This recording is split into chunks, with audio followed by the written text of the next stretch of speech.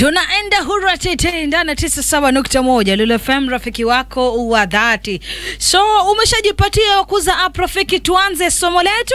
Bila shaka nina imani umeshajipatia. Kumbuka tumesema tunaangazia maandiko katika kitabu cha Mathayo ishirini na mbili mlango ule wa thelathini na sita hadi arobaini Nasema hivi, mwalimu, ni amri ipi iliyokuu katika sheria? Yesu akamjibu, mpende Bwana Mungu wako kwa moyo wako wote, kwa roho yako yote na kwa akili zako zote. Hii ndiyo amri kuu na ya kwanza. Ya pili inafanana na hiyo, mpende jirani yako kama unavyojipenda wewe mwenyewe. Sheria yote ya Mose na mafundisho ya manabii vinategemea amri hizi mbili.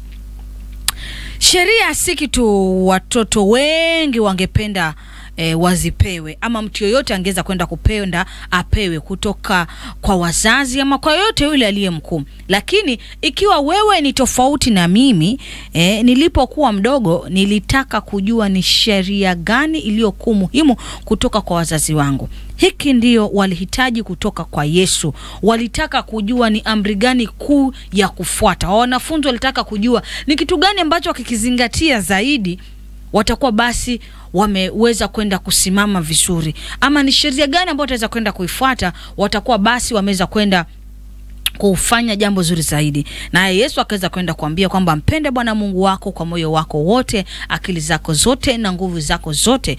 Kwa nini amri hii ni kuu? Amri hii ni kuu kwa sababu kile unachokipenda itadhihirisha vyema ama vyenye utatenda kile unachokuwa unakipenda itadhihirisha vyema utakachokuwa unakitenda. Mm? Kilicho moyoni ndio utakitoa nje, kilicho akilini ndio utakitoa nje. So unachokuwa umekiweka ndani yako ndicho utakachokwenda kukitoa. Hauwezi kuwa umeweka eh, maneno machafu kazungumze maneno mema, itakuwa ni vigumu.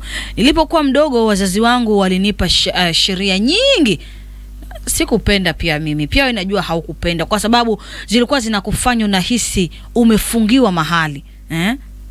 Safisha chumba chako eh, fanya hivi fanya hivi, so unapata kwamba labda ilikuwa inakufanya una feel unafungiwa. Lakini katika eh, jambo hili tunapokuwa tunazungumzia hii sheria ya Mungu, ni sheria ambayo inatupatia mwelekeo jinsi tunatenda. Kutakuwa na mabadiliko wakati Mungu anatuamuru tuwapende wengine, tutafanya kwa sababu tunampenda Mungu. Mm? Utakuwa umetii yule Mungu juu huyo ndio iko ndani yake, juu huyo ndio unaikuwa unamsikiza. Akituambia tuwatumikie wengine, tutawatumikia, tutafanya, maana tunampenda huyu Mungu. Hivyo basi, wakati tunampenda Bwana Mungu wetu kwa kiasi kikubwa, tunaamua kutenda tofauti na kawaida. Amri hii eh, kutoka kwa Yesu ndio shina la mafundisho yake yote. Kumpenda Mungu kwa moyo wako wote na akili na nguvu na nafsi yako yote, itakulazimu kutenda tofauti, itakulazimu kutenda yaliyo mema, itakulazimu kutenda yaliyo mazuri na ya kumpendeza Mwenyezi Mungu. Hii hutusongeza kumpenda Mungu hata zaidi. Lazima tujifunze kumpenda Mungu na kila kitu tulicho nacho ili maisha yetu yajawe na furaha ya Mungu aliyotupa. Hata unaposimama kwamba na kusema kwamba the joy of the Lord is my strength, una uhakika ya kwamba mimi ninayokuwa ninayatenda ni yanampendeza Mungu. Mimi mienendo yangu ninayokuwa ninaiishi na kuienenda inakuwa inampendeza. Utakuwa na uhakikisho, kwa maana amri hii utakuwa umeishikililia, utakuwa umeweza kwenda kuizingatia, na tunaambiwa kwamba wakati tunakuwa tunaweza kwenda kumpenda huyu Mungu, tutakuwa tunatenda mambo kwa utofauti, hatutafanya yale mambo ya kawaida eh? Hata kupenda mwingine hatutapenda katika kawaida, hatutapenda mtu anayekuwa anafanya makosa, tutajaribu kumrekebisha, lakini ni kwa upendo hatutarekebisha kama wa dunia, hatutapenda kama wa dunia.